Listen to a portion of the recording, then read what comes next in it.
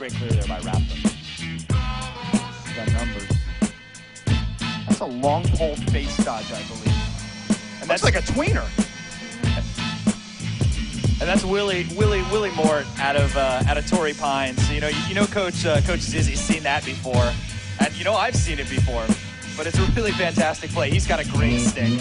Such an added dimension offensively. When you get a long pole that can press in transition this way,